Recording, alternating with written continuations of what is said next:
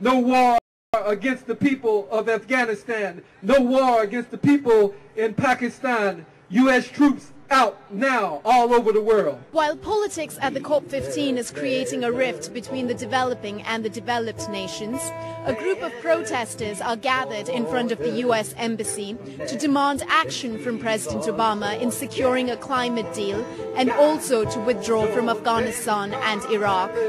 Amid tight security, the group of peaceful protesters from different parts of the world gathered to show opposition to the US policies, ranging from inaction towards securing a politically binding climate deal to the recent pledge of additional troops to Afghanistan.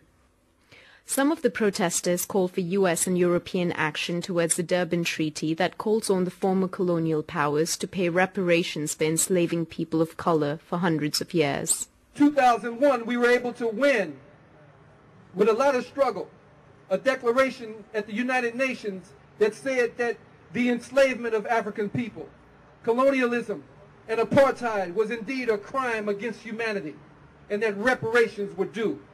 And we need you all in Europe and you all in America who don't support reparations to get on board with that to deal with this 500 year war that has been going on against African and indigenous people.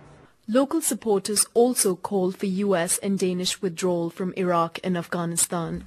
The right thing to do is to leave Afghanistan to the people and to the to the government. Although, of course, it's U.S. is still controlling. There was also a deep sense of disappointment towards lack of commitment from the U.S. in reducing carbon emissions. Since the United States is a major uh, leading greenhouse gas polluter in the world and coming here to this World International uh, Conference on Climate Change with some measly 16% cut in greenhouse gas, that's a slap in the face.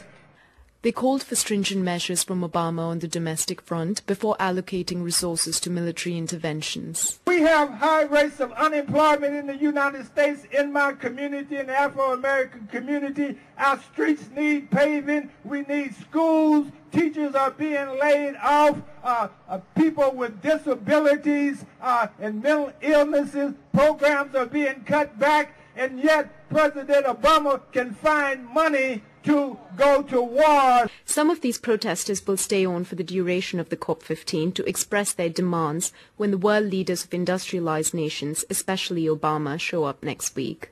This is Preeti Nalu, Press TV.